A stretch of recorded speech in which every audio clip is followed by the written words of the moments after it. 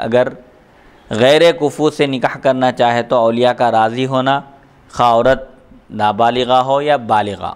چوتھی شرط یہ بیان کی گئی تھی کہ اگر عورت غیر کفو یعنی اب جو اس کا ہمسر نہیں ہے، برابر نہیں ہے، خاندانی اعتبار سے، حسب نصب کے اعتبار سے اس کے لیول کا نہیں ہے، اگر ایسے شخص سے عورت نکاح کرنا چاہتی ہے تو سرپرستوں کا راضی ہونا شرط ہے، چاہے لڑکی بالغ ہو یا نابالغ ہو، دونوں صورتوں میں اولیاء کا راضی ہونا شرط ہے۔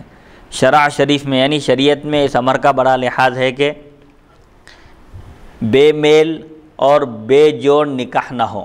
شریعت میں خاص طور پر اس کا لحاظ رکھا گیا ہے کہ نکاح میں چونکہ انست ہونا ضروری ہے شوہر اور بیوی کے درمیان، اور یہ عام طور پر انست ہوتی ہے جبکہ دونوں ایک ہی لیول کے ہوں، شرافت میں، حسب نصب میں اور دینداری میں، اخلاق اور کردار میں۔ میل کھانا دونوں کا ضروری ہے۔ اسی لیے شریعت میں بے میل اور بے جوڑ نکاح نہ ہو، اس بات کا خاص خیال رکھا گیا ہے۔ یعنی لڑکی کا نکاح کسی ایسے مرد سے ہونے نہ پائے جو اس سے کم درجے کا ہو۔ اگر کوئی عورت اپنے اختیار سے اولیاء سرپرستوں کی بلا رضامندی کسی کم درجے کے مرد سے نکاح کر لے یا کبھی دھوکے سے ایسا ہو جائے تو چونکہ اس میں اولیاء کی توہین ہے۔ اولیاء کی حقارت ہے، تحقیر ہے، توہین ہے، انسلٹ ہے۔ لہٰذا اولیاء کے دفع عار کے لیے مرد کا، عورت کے ہم کفو ہونا، عورت کے برابر ہونا شرط ٹھہرایا گیا۔ دفع عار یعنی شرم، حیا، عار یعنی جس کی وجہ سے انسان کو خفت محسوس ہوتی ہے، اپنی توہین محسوس ہوتی ہے۔ آر کو دفع کرنے کے لیے آر کو دور کرنے کے لیے مرد عورت کے برابر ہونا شرط ہے۔ کفاعت میں، حسب نصب میں، شرافت میں، کفاعت میں، ہر چیز میں عورت کے برابر ہونا شرط قرار دیا گیا۔ اگر عورت غیر کفو مرد سے نکاح کر لیں اور اگر غیر کفو مرد سے نکاح ہو گیا ہو تو اولیاء کو اختیار دیا گیا کہ وہ قاضی یعنی مسلمان حاکم عدالت کے بعد شکایت پیش کریں اور ایسے نکاح کو فسخ کرا دیں۔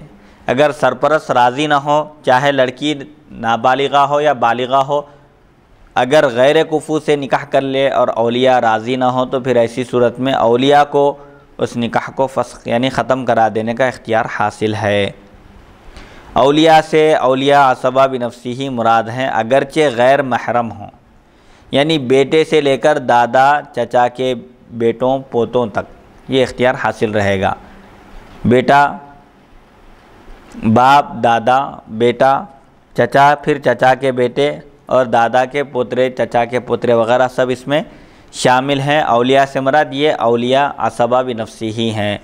کفو سے مراد مرد کا نصب، حریت، اسلام، دیانت، مال، پیشے میں عورت کے برابر یا اس سے بہتر ہونا ہے۔ کفو سے کیا مراد ہے؟ مرد عورت کے مساوی ہو، مرد عورت کا ہمسر ہو، مماثل ہو، سے مراد کیا ہے؟ مرد کا حسب نصب اور عورت کا حسب نصب ایک ہو۔ مرد بھی آزاد ہو، عورت بھی آزاد ہو۔ مرد بھی مسلمان ہو، عورت بھی مسلمان ہو۔ مرد بھی دیانتدار ہو، عورت کی طرح۔ ایسے ہی عورت مال والی ہے تو مرد بھی مال والا ہو۔ عورت کوئی پیشے والی ہے، ہنر والی ہے یعنی کچھ تجارت ہے، کاروبار ہے تو مرد بھی اس کے مساوی ہو۔ عورت، لہٰذا ان چیزوں میں، مرد کا نصب میں، آزادی میں، اسلام میں، دیانتداری میں، مال اور پیشے میں، عورت کے برابر یا اس سے بہتر ہونا۔ شرط ہے۔ نصب کی برابری صرف عربی النسل لوگوں میں معتبر ہے۔ حسب نصب میں برابر ہونے سے مراد کس کے لیے ہے صرف؟ جو عربی النسل ہیں عرب میں پیدا ہونے والے ہیں ان لوگوں میں معتبر ہے۔ یعنی خاص کر سادات سید۔ جی۔ سادہ سید مراد نہیں ہے عربی النسل یعنی عرب میں پیدا ہونے والے لوگ۔ عجم میں پیدا ہونے والے بھی ہیں سادات ہندوستان وغیرہ میں بھی۔ عجمیوں میں نصب کی برابری کا اعتبار نہیں یعنی عجمی لوگ نصب میں باہم مختلف ہونے کے بعد باعث غیر کفو نہ کہلائیں گے بلکہ ان میں نصب کے سوا باقی امور کی برابری معتبر ہے۔ عرب عجمی سے نکاح نہیں کر سکتا۔ کوئی عجمی عورت یا کوئی عجمی مرد عربی عورت کا ہمسر نہیں ہو سکتا برابر نہیں ہو سکتا۔ عجمیوں میں نصب کی برابری کا اعتبار نہیں ہے۔ نصب چھوڑ کر بقیہ سب چیزوں میں برابر ہونا شرط ہے۔ یعنی عجمی لوگ نصب میں باہم مختلف ہونے کے باوجود باعث غیر کفو نہ کہلائیں گے۔ یعنی یہاں پر کفات میں نصب نہیں دیکھا جائے گا، بلکہ دوسری چیزیں جی دیکھی جائیں گی۔ عورت آزاد ہے، مرد بھی آزاد ہو۔ عورت مسلمان ہے، مرد بھی مسلمان ہو۔ عورت مالدار ہے، مرد بھی مالدار ہو۔ ان چیزوں کا لحاظ رکھا جائے گا۔ بہرحال حدیث شریف میں جو فضفر بذاتی دین جو حضور فرمائے کہ عورت سے جو نکاح کیا جاتا ہے وہ چار بنیادوں میں سے کسی ایک بنیاد پر۔ یا تو اس کے حسب نصب کی وجہ سے، یا اس کے مال و دولت کی وجہ سے، یا اس کے حسن و جمال کی وجہ سے، یا اس کی دینداری کی وجہ سے۔ حضور صلی اللہ علیہ وسلم فرمائے کہ دیندار عورت کو اختیار کرو، کیونکہ حسن و جمال ایک دن ختم ہو جائے گا۔ زوال پذیر ہے وہ، آج ہے، کل ختم ہو جائے گا، ایسے ہی مال و دولت ہے۔ ہمیشہ ایک آدمی کے پاس مال نہیں رہتا، آج مالدار ہے، کل فقیر ہو جائے گا۔ لیکن دینداری ہمیشہ باقی رہنے والی پائیدار چیز ہے۔ لہذا جو عورت دیندار ہے، با اخلاق ہے، اس کا انتخاب کرو۔ عرب میں قریشی قریشی سب برابر ہیں۔ عرب سے وہ لوگ مراد ہیں جو عربی نسل ہوں۔ خواہ وہ اس وقت اس وقت کسی اور ملک میں رہتے ہوں اور کتنے ہی پشتوں سے رہتے ہوں۔ عرب سے مراد عربی نسل لوگ مراد ہیں۔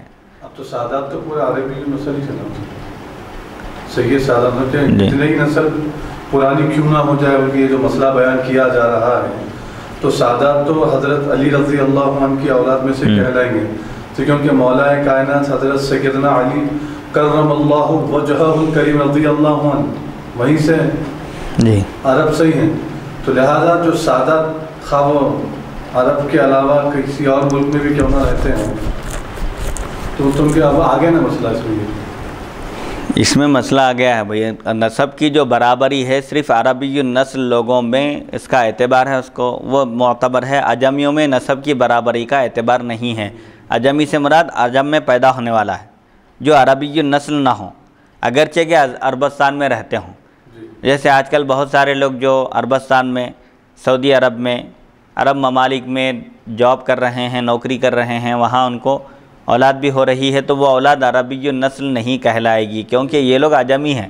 جی۔ اب جو عرب میں پیدا ہوئے یعنی خاص عربی نسل ہے عرب ہی کے رہنے والے تھے کسی اور ملک میں جا کر بس گئے تو وہ عربی نسل ہی کہلائیں گے اگرچہ کہ اب بعد میں ان کی اولاد عجم میں پیدا ہو۔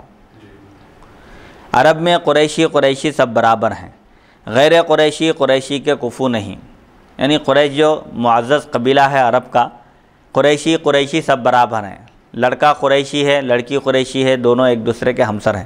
لیکن لڑکا اگر قریشی نہ ہو اور لڑکی قریشی ہو تو وہ یہ دونوں ایک دوسرے کے ہمسر اور کفو نہیں ہو سکتے۔ البتہ غیر قریشی سب ایک دوسرے کے کفو ہیں۔ کوئی عجمی کسی عربی نسل کا کفو اس کے برابر نہیں ہو سکتا، مگر اس سے ایک صورت مستثنا ہے، الگ ہے۔ وہ یہ کہ اگر عجمی علم دین کا عالم ہو تو وہ عربی نسل بلکہ خاص قریشی عورت کا بھی جو علم سے بے بہرا ہو، کفو ہو جائے گا۔ ایک صورت اس میں مستثنا ہے۔ یہ بات بتائی جا رہی ہے کہ کوئی عجمی عجم میں پیدا ہونے والا کسی عربی کا ہمسر نہیں ہو سکتا۔ کوئی عجمی لڑکا ہے تو وہ کسی عربی عربی نسل لڑکی کا کفو نہیں ہو سکتا۔ البتہ اگر عالم دین ہے تو وہ عربی نسل عورت کا کفو بن سکتا ہے بلکہ قریشی عورت قریش خاندان سے تعلق رکھنے والی معزز گھرانے کی عورت ہے قریشی ہے علم سے بے بہرا ہے تو یہ مرد جو علم سے آراستہ ہے وہ اس عورت کا کفو بن سکتا ہے اس سے نکاح کرنا چاہے تو کر سکتا ہے۔ اگر عورت علم رکھنے والی عالمہ ہو فاضلہ ہو صاحب علم ہو۔ تو نہیں بن سکتا جب کیونکہ یہاں شرط وہی بتا رہے نا عربی نسل کا کفو ہو سکتا ہے کب عجمی عالم دین ہو۔ بلکہ عربی نسل سے بڑھ کر درجہ خاص قریشی عورت کا ہے۔ اگر وہ علم سے بے بہرا ہے تو پھر اس کا بھی ایک کفو بن سکتا ہے، ہمسر ہو سکتا ہے۔ نصب میں باپ کا اعتبار ہے، ماں کا اعتبار نہیں۔ مثال کے طور پر باپ عربی نسل ہے اور ماں عجمی تو بچہ بھی عربی نسل کہلائے گا۔ نصب کی نسبت، نصب کا اعتبار باپ سے ہے۔ باپ اگر سادات گھرانے سے ہو تو اولاد بھی سادات ہوگی، اگرچہ کہ ماں سیدہ نہ ہو ایسے ہی باپ اگر عربی نسل ہے، تو اولاد بھی عربی نسل کہلائے گی، اگرچہ کہ ماں عجمی ہوں۔ حریت یعنی آزاد ہونا۔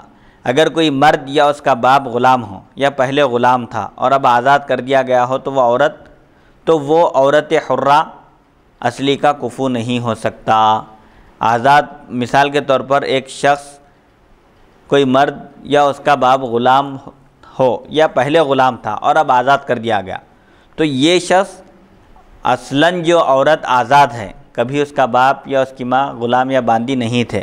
ایسی عورت کا ایسا مرد کفو نہیں ہو سکتا، ہمسر نہیں ہو سکتا، جو خود غلام ہو یا اس کا باپ غلام ہو یا پہلے غلام رہے ہوں۔ یہ لوگ کفو نہیں ہو سکتے، کیونکہ یہاں پر عورت کی آزادی اصالتاً ہے یعنی شروع سے ہی آزاد ہے جبکہ یہ لوگ پہلے غلام رہ چکے تو آزادی سے بھی مراد یہ ہے کہ اصلاً آزاد رہنا کبھی بھی غلامی نہ آئے۔ اسلام سے مراد نو نو مسلم نہ ہونا۔ ابھی ابھی جو مسلمان ہوا ہے وہ مراد نہیں ہے بلکہ جو آبا و اجداد کے زمانے سے مسلمان ہو۔ نو مسلم اس کو کہتے ہیں جو بذات خود مسلمان ہوا ہو یا اس کا باپ بھی مسلمان ہو گیا ہو۔ البتہ جس کی دو پشتیں اسلام میں گزر جائیں یعنی باپ اور دادا کے وقت سے اسلام چلا آتا ہو، تو قدیم الاسلام سمجھا جائے گا۔ مسلمان ہونا کفاعت کا مطلب کیا ہے؟ عورت کے برابر ہونے کے لیے مرد بھی مسلمان ہو۔ اگر ابھی ابھی مسلمان ہوا ہے، تو وہ اس کا کفو نہیں ہو سکتا۔ البتہ دو پشتیں اگر گزر جائیں یعنی دادا بھی مسلمان تھے، والد بھی مسلمان تھے، پر دادا مسلمان نہیں تھے۔ یہ لوگ اسلام لائے۔ دو پشتیں اگر گزر جائیں تو اس کو قدیم الاسلام سمجھا جائے گا نو مسلم نہیں سمجھا جائے گا۔ ابھی ابھی مسلمان ہوا ہے یہ نہیں کہا جائے گا۔ بلکہ یہ بھی قدیم مسلمان ہی سمجھا جائے گا کب؟ جبکہ دو پشتیں اسلام میں گزر چکی ہوں۔ یعنی باپ دادا دونوں بھی مسلمان رہے ہوں۔ اگر ماں باپ خود راضی ہو کر اگر کرا رہے ہیں تو نکاح ہو جا سکتا ہے۔ یہ نوعیتیں صورتیں الگ الگ بنتی اس میں۔ یہ بات بتائی جا رہی ہے کہ نو مسلم قدیم الاسلام کا کفو نہیں ہو سکتا۔ ایک لڑکی ہے جس کے والد بھی مسلمان ہیں دادا بھی مسلمان ہیں۔ اور ایک لڑکا ابھی ابھی مسلمان ہوا اسے نکاح کر رہا ہے۔ یہاں پر سرپرستوں کی مرضی کے بغیر اگر کر رہا ہے سرپرست راضی نہیں ہے تو یہ مسائل ہیں۔ غیر کفو میں عورت کر رہی ہے ایک لڑکی ہے ابھی ابھی ایک لڑکا مسلمان ہوا اسے نکاح کر رہی ہے بالغ ہے اور سرپرست راضی بھی ہیں۔ تو جب کوئی مسئلہ نہیں ہے سرپرستوں کی ناراضگی کے صورت میں ہے یہ سب مسائل۔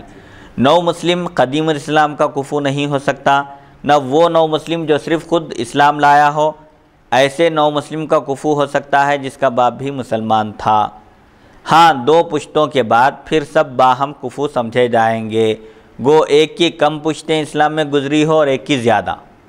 دو پشتیں اگر اسلام میں گزر جائیں، والد مسلمان، دادا مسلمان، اب پوترا مسلمان ہے۔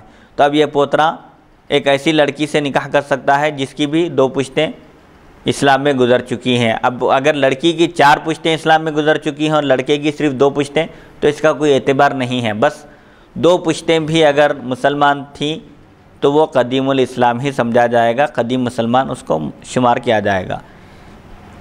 اسلام کی برابری کا اعتبار وہاں کے لوگوں کے لیے نہیں ہے، جہاں نو مسلم ہونا کچھ آر نہیں سمجھا جاتا۔ جہاں پر نو مسلم ہونے کو آر نہیں سمجھا جاتا یعنی ذلت کی چیز نہیں سمجھا جاتا، وہاں پر اسلام کی برابری کا اعتبار وہاں نہیں کیا جائے گا۔ جہاں پر مسلمان نہیں ہونے کو آر سمجھا جاتا ہے، ارے ابھی ابھی مسلمان ہوا ہے شخص، ایسا کہا جاتا ہے، وہاں پر یہ مسائل ہیں۔ البتہ اسلامی، اسلام کی برابری کا اعتبار وہاں کے لوگوں کے لیے نہیں ہے، جہاں نو مسلم ہونا کچھ آر نہیں سمجھا جاتا۔ دیانت یعنی دینداری میں عورت کے برابر ہونا ضروری ہے مرد کا، بلکہ اس سے بہتر ہونا، اس سے زیادہ ہونا یہ بہتر ہے۔ تو اب دیانت کی تشریح کی جا رہی ہے یعنی دینداری۔ جو شخص فاسق ہو، وہ ایسی عورت کا کفو نہیں ہو سکتا جو خود بھی پرہیزگار ہے اور اس کا باپ بھی پرہیزگار ہے۔ اگر کوئی عورت خود پرہیزگار ہو مگر اس کا باپ پرہیزگار نہ ہو، یا باپ تو پرہیزگار ہو مگر خود پرہیزگار نہ ہو، تو ایسی عورت کا ایک فاسق مرد کفو ہو سکتا ہے۔ فاسق شریعت کی اصطلاح میں اس شخص کو کہتے ہیں جو گناہ کبیرہ کا مرتکب ہو، شراب پینے والا ہو یہ ایک مجھ سے کم داڑھی رکھنے والا ہو، کاٹنے والا ہو داڑھی، یا جھوٹ بولنے والا ہو، یا خیانت کرنے والا ہو، دھوکہ دینا، یہ سب گناہ کبیرہ ہے کسی کو آمدن ناحق قتل کرنا گناہ کبیرہ ہے، جھوٹ بولنا، ماں باپ کی نافرمانی، پاک دامن عورت پر تہمت لگانا۔ سود کھانا یہ سب گناہ کبیرہ ہے نمازوں کو ضائع کرنا امدن نماز ترک کرنے والا۔ اور جماعت سے تو پڑھ ہی نہیں جی۔ تو دینداری اگر کوئی مرد فاسق ہو اور عورت متقی پرہیزگار ہے عورت کے والد بھی متقی پرہیزگار ہے تو اب وہ فاسق مرد اس عورت کا کفو نہیں ہو سکتا۔ اگر کوئی عورت خود پرہیزگار ہو لیکن اس کا باپ پرہیزگار نہ ہو یا باپ پرہیزگار ہے، عورت پرہیزگار نہ ہو، تو پھر ایسی عورت کا ایک فاسق مرد کفو ہو سکتا ہے۔ کب؟ جبکہ ایک ہی وہاں پر متقی پرہیزگار ہو پہلی صورت تو یہ ہے کہ لڑکی بھی متقی پرہیزگار ہے، لڑکی کے والد بھی متقی پرہیزگار ہے۔ تو اس لڑکی کا کفو ایسا مرد نہیں بن سکتا جو فاسق اور فاجر ہے۔ گناہ کبیرہ کا مرتکب ہے فاسق معلن ہو یا کھلا یا چھپ کر گناہ کرنے والا ہو۔ البتہ اگر لڑکی متقی پرہیزگار ہے، باپ پرہیزگار نہیں ہے یا باپ پرہیزگار ہے، لڑکی پرہیزگار نہیں ہے، تو پھر فاسق مرد اس عورت کا کفو ہو سکتا ہے۔ مال سے کیا مراد ہے؟ مال سے مراد اس قدر مال ہے جس کی وجہ سے مہر اور نفقے کی ادائی پر قدرت ہو۔ مہر ادا کر سکے اور نان نفقہ دے سکے یعنی عورت کی ذمہ داری اٹھا سکے۔ مہر اگر کل معجل ہو، تو کل کی ادائی پر یا اگر اس کا کوئی جز معجل ہو تو صرف اسی جز کی ادائی پر قدرت کافی ہے۔ مہر کی بھی دو صورتیں ہیں، فوراً فلفور دیا جانے والا مہر یا بعد میں دیا جانے والا مہر۔ اگر فلفور دیا جانے والا مہر ہے، مہر معجل ہے اور کل کا کل دینے پر قدرت ہے، پورا دے دینا ہے یا بعض کی شرط لگائے تھے کہ پچاس ہزار ہے، پچیس ہزار معجل۔ تو جتنی، جتنا مہر معجل دینا ہے، اتنا مہر دینے کی بھی قدرت ہونا کافی ہے۔ اور نگ اور نفقے پر قدرت صرف بقدر ایک ماہ کے ضروری ہے۔ نان نفقے سے کیا مراد ہے؟ ایک مہینے کا راشن ڈلا سکتا ہوں۔ یہ ضروری نہیں ہے کہ ایک سال کا راشن ڈلانے کی قدرت ہو ایسا ہی شخص مال میں اس عورت کے برابر ہے نہیں کہا جائے گا۔ بلکہ ایک مہینے کا خرچہ سنبھالنے کی اگر قدرت ہو تو وہ بھی مال میں عورت کے ہمسر ہے کفو ہے اس کے برابر ہے۔ سبحان اللہ۔ بشرط ہے کہ پیشہ ور نہ ہو۔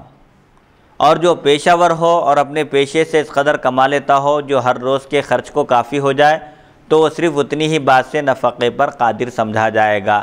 ایک ڈیلی ویجز پر کام کرنے والا ہے، مزدور ہے، یومیہ اجرت پر کام کرنے والا ہے، پیشہ، ایک پیشے سے واقف ہے، ہنر رکھتا ہے اور اس ہنر کے ذریعے روز کی، کے اخراجات کی پابجائی کر سکتا ہے۔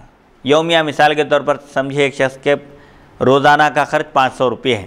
وہ پانچ سو روپے کما لیتا ہے تو بس اتنی ہی قدرت کافی ہے اس کے لیے۔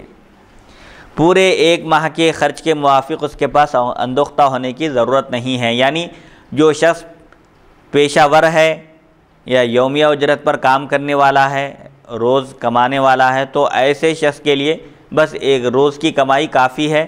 ایک مہینے کا راشن ڈلانے کا اسے مطالبہ نہیں کیا جا سکتا۔ بس جو شخص اس قدر مال کا مالک ہو وہ ہر عورت کا کفو ہے، اگرچہ کہ عورت بڑی دولت مند ہو۔ عورت دولت مند بھی ہے، لیکن جس سے اس کا نکاح ہو رہا ہے، اس کے پاس اتنا مال ہے جس سے وہ اہل و عیال کی پرورش کر سکتا ہے، تو ایسا شخص بھی اس کا کفو ہو سکتا ہے۔ پیشے میں برابر ہونا۔ پیشے میں برابری کا مطلب یہ ہے کہ جس قسم کا پیشہ ایک کے یہاں ہوتا ہے، اسی قسم کا دوسرے کے یہاں بھی ہوتا ہے۔ پیشے چونکہ مختلف ہوتے ہیں اور عام طور پر کوئی پیشہ ذلیل سمجھا جاتا ہے جیسے نائی، روٹی بنانا، دھوبی یعنی کپڑے دھونے والے کا، کپڑے دھونے کا پیشہ، خاک، عروب یعنی جھاڑو دینے کا پیشہ۔ اور کوئی پیشہ عزت دار سمجھا جاتا ہے، جیسے کاشتکار یعنی کھیتی باڑی کرنا، سوداگر، تجارت کرنا وغیرہ کا پیشہ۔ لہذا پیشے کی برابری کا اسی مقام پر لحاظ کیا جائے گا جہاں باہم پیشوں میں امتیاز سمجھا جاتا ہو اور کوئی ذلت کر، کوئی عزت کی نظر سے دیکھا جاتا ہو۔ پیشے کا اعتبار وہاں کیا جائے گا جہاں پر پیشوں میں امتیاز ہو۔ یعنی کوئی پیشہ معزز سمجھا جاتا ہے تو اسی پیشے کے درجے کے آدمی سے عورت کا نکاح کیا جائے گا۔ اور اگر کوئی پیشہ کمتر سمجھا جاتا ہے تو پھر معزز پیشے والے کا کمتر پیشے والے سے نکاح نہیں کیا جائے گا۔ بس اگر کسی مقام میں دو مختلف پیشے مساوی سمجھے جاتے ہوں تو وہاں ان دونوں پیشوں کے کرنے والے باہم کفو ہوں گے۔ اور اگر کہیں مساوی نہ سمجھے جاتے ہوں تو وہاں باہم کفو نہ ہوں گے۔ یعنی پیشے اگر کسی ملک میں، کسی علاقے میں، کسی جگہ اگر معزز اور کمتر نہیں سمجھے جاتے، بلکہ برابر سمجھے جاتے ہیں، حقارت کی نظر سے نہیں دیکھے جاتے، تو وہاں پر الگ الگ پیشوں کے لوگوں کا نکاح ایک دوسرے کے ساتھ کیا جا سکتا ہے۔